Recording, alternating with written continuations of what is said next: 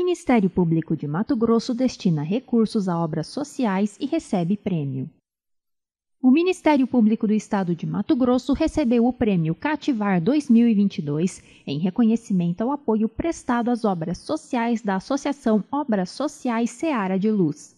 A premiação ocorreu no sábado, dia 26, junto à entrega das obras no bairro Jardim Liberdade, em Cuiabá. A instituição foi representada pelo Procurador de Justiça Roberto Aparecido Lim e pelos promotores de justiça Arnaldo Justino da Silva e Mauro Zaque de Jesus. O Ministério Público de Mato Grosso viabilizou a construção de três obras com investimentos de 3,3 milhões de reais. Foram edificadas a creche Ninazaki, do espaço de lazer Vila Feliz João Batista Turim e da primeira ala, doutora Maria Ângela Gadelha Veras de Souza, de uma vila residencial destinada a idosos. Os recursos vieram de termos de ajustamento de conduta e acordos de colaboração firmados pelo Núcleo de Defesa do Patrimônio Público e da Probidade Administrativa.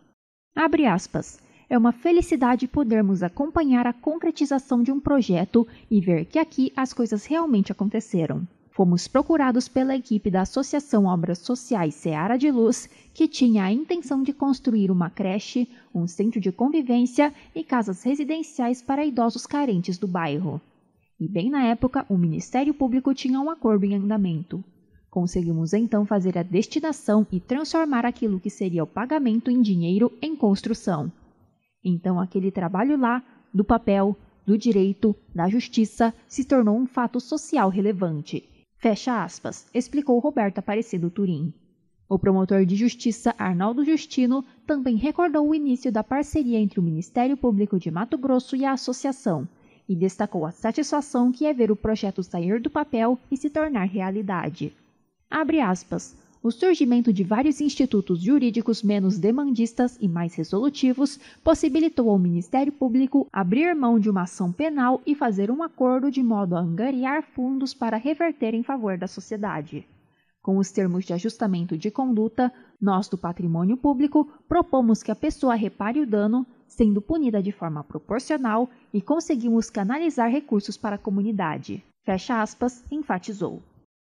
Abre aspas. A grande mensagem dessa obra pronta é que o Ministério Público pode e deve colaborar com a sociedade de várias maneiras, tanto no combate ao crime organizado, na fiscalização das obras e também com trabalhos sociais, trazendo o dinheiro recuperado do desvio, da corrupção, para ser empregado diretamente em favor da população que mais precisa. Fecha aspas. Acrescentou o promotor de justiça Mauro Zacchi, parabenizando a equipe da Seara de Luz por transformar o que era sonho em realidade. Para a presidente da Associação Obras Sociais Seara de Luz, Elione Fátima de Almeida Santos, a parceria com o Ministério Público de Mato Grosso é fundamental para o desenvolvimento do projeto.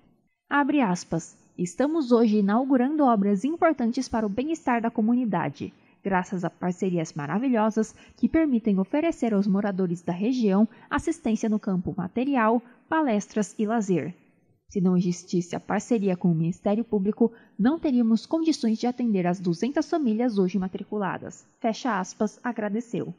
Segundo a voluntária, ainda existe uma lista de espera de 180 pessoas.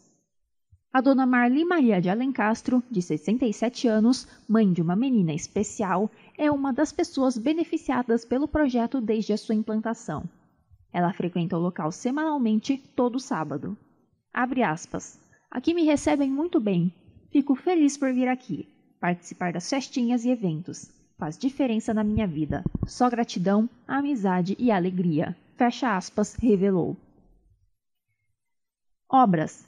A creche Ninazaki está em funcionamento há dois meses. Ela tem capacidade para 60 crianças em situação de vulnerabilidade econômica e social na faixa etária de 1 a 3 anos de idade e atualmente atende 27. O espaço de lazer Vida Feliz João Batista Turim conta com piscina coberta, salas para fisioterapia, auditório e cozinha. Já a primeira ala doutora Maria Ângela Gadelha Veras de Souza, do projeto Vila Feliz, contempla seis moradias com capacidade para abrigar 12 idosos. Esse foi um conteúdo do Ministério Público do Estado de Mato Grosso.